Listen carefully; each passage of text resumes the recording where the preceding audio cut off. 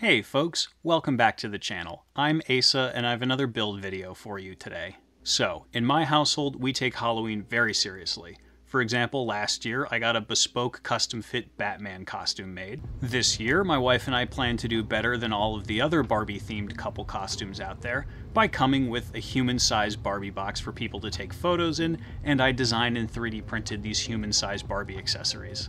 In this video, I'll go over all of the construction and painting of the Barbie box. If you like this type of content, please consider subscribing to my channel. The next few videos will be about my Prusa Mark IV 3D printer kit that I just got, and I'll assemble and test this out in the next couple of weeks. Well, I think that's more than enough intro, let's get to building.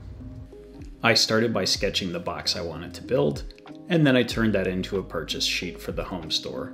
I'll put a full list of the supplies I needed in the video description, as well as the tools that I used.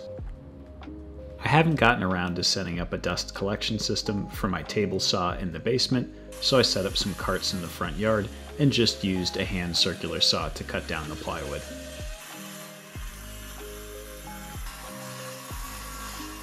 I ended up sanding the plywood sheets so I could get a really good surface to paint on. This definitely isn't required, but it made the finish a bit nicer. After I cut everything down to size, I drew the cut that I wanted to make in the front panel. I drilled a hole because I was too lazy to put the plunge attachment on my router, and I routed out the shape of the Barbie text. Don't forget to use your respirator and eye protection for this.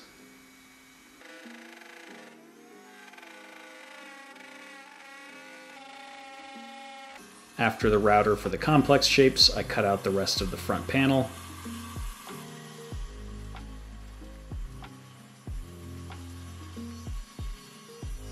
I used a router to cut out the heart logo,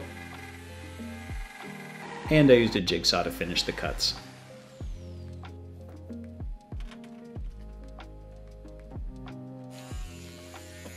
After all the large cuts were done, I started sanding, and sanding, and sanding.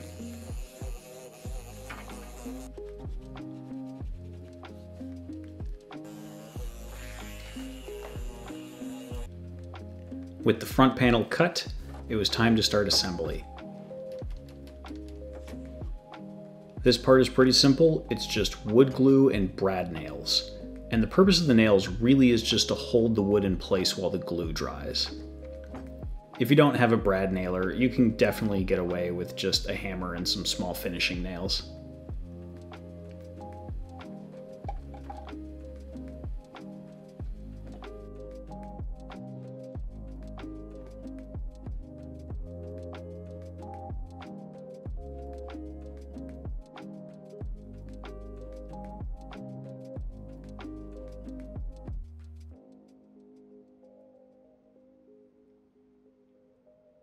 And anytime you're using a nail gun, make sure your hands and fingers are far away from the tip of the gun so that if the nail hits a knot or it goes in some strange direction, you're not going to puncture your fingers or hand.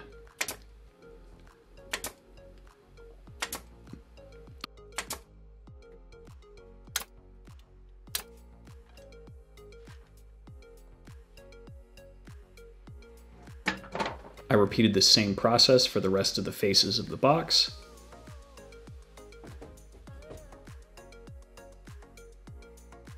I'd run a bead of glue down the edge, put the next face on, and then nail it in place with the brad nailer.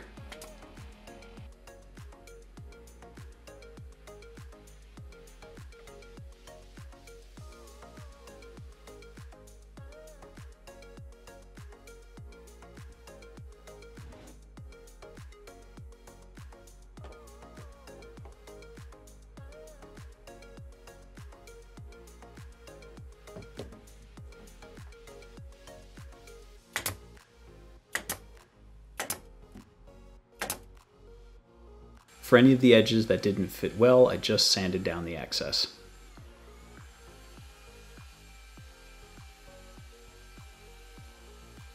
I did some final prep, sanding, and cleaning before I got to painting.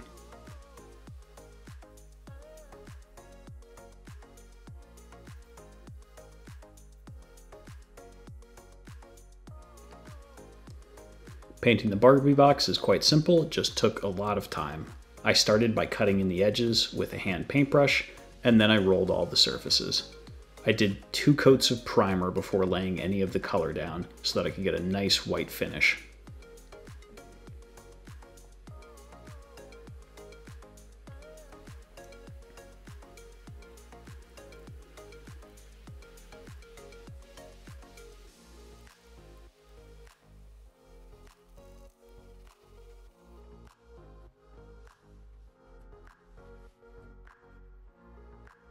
Didn't even cheat and I painted the top and the bottom as well. After both coats of primer dried, I masked out the lines that I wanted to paint.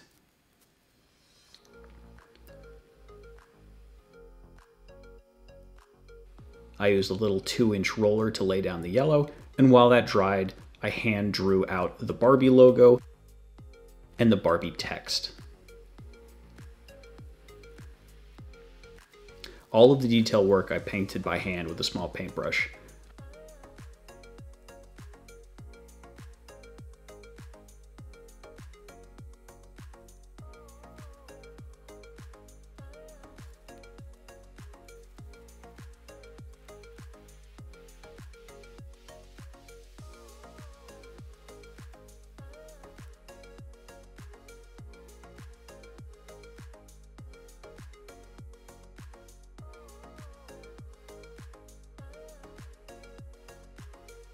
I carefully laid masking tape over the existing yellow lines so that I could paint pink over everything, and then when I removed the masking tape, I'd have the nice yellow lines left.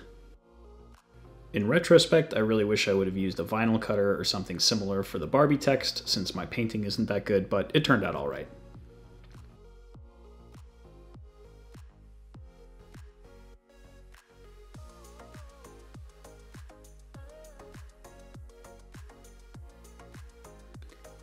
And then after I finished all of the detail paintwork with the logo and the text, I painted the sides and the inside. Although I accidentally picked the wrong color, so I had to paint the inside twice. And everywhere you see color, including the hand painting, I did two coats.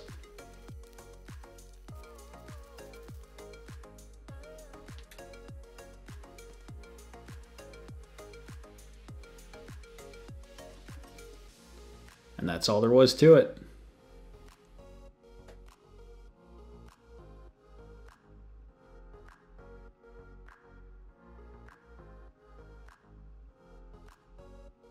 The last thing I did was add some small LED strip lights to illuminate the inside. I think this will be a really nice touch when people use it for photos.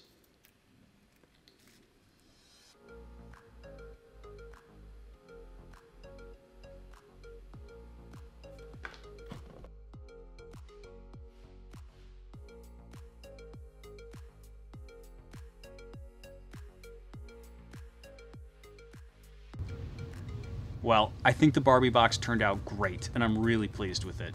That's all the content I've got for you today. If you enjoyed this video, please like it and consider subscribing to my channel if you want more content on building, making, and crafting. Thanks again, and I'll see you in the next video.